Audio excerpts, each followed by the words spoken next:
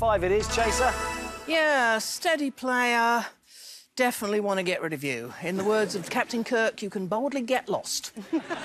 That's jolly decent of you. Uh, well, I think you might rue this decision. Let's see. Here we go. John, for five grand, the chase is on. Good luck. Here comes your first question. It ain't what you do, it's the way that you do it. Was a hit for Fun Boy 3 with what other group? A. Bananarama. B. Smashing Pumpkins. C. The Cranberries. You've put Bananarama. yeah. You a fan of Bananarama, No. John? I was trying to hear this song in my head, and I, I definitely remember hearing it, but who it was, I don't know. Correct answer is. Yeah, Bananarama, of course. Wow. Staying, yeah, step close home. Chaser's put.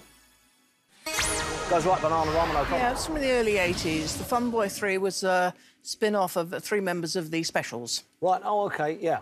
Uh, here's your next question. Thank you. What rhyming slang nickname signifies the highest classification of academic degree? A, a Douglas, B, a Desmond, C, a Geoff. Oh, You've put a Geoff. yeah. Geoff Hurst first. Not really rhyming slang, though. They're making that up. Correct answer is. Well played, right, yes. Get in. Step close to home, Chaser's put. Goes right with a Geoff.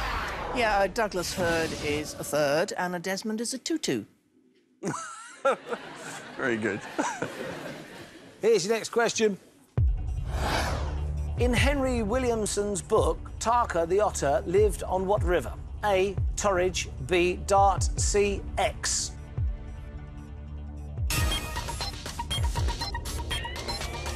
You've put Torridge. Don't even know where that is.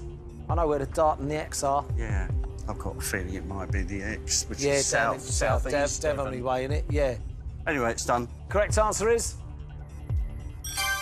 Well played, Torridge. Brilliant. OK, step close home. Chaser's put.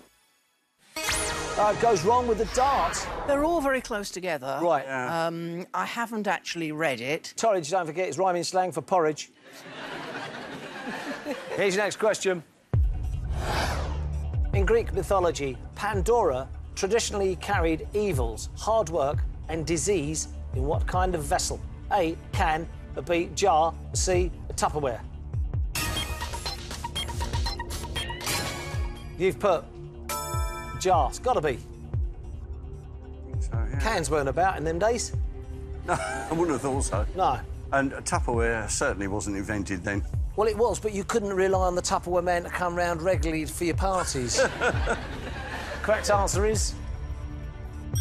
Well played, Jar. Of course, step close to home. Chaser's put. Goes right with Jar. Yeah, that would have been a lot harder if box had been in there. Yeah. Um, because uh, it, the box is what she opened and everything flew out. Yeah, it did, yeah. We're one from home and we're four ahead, John. Yeah, don't tell me. well, I just did. Get this question right, and you'd have had three goes at 30 grand. 30 grand, yeah. Oh, well, c'est la vie. Did tell you. You did indeed. Here's your next question.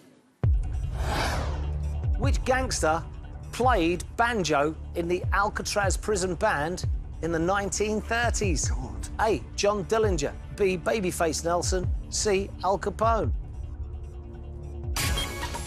You've put Babyface Nelson. Yeah. I don't think it was Al Capone. Um, No. between the other two, I really don't know. Correct answer is to go through with five grand. It's Capone. Wow. No. Staying where you are. Chaser's put. She looks confident. Yeah, she does. Goes right with Capone, moves to within three. I didn't know between B and C. I knew it wasn't A because uh, he got shot in 1934. All right. Here's your next question. We're still three ahead. Sarcology is the branch of anatomy that treats what bits of the body? A. The bony bits. B. The fleshy bits. C. The hairy bits. You've put the fleshy bits. Yeah.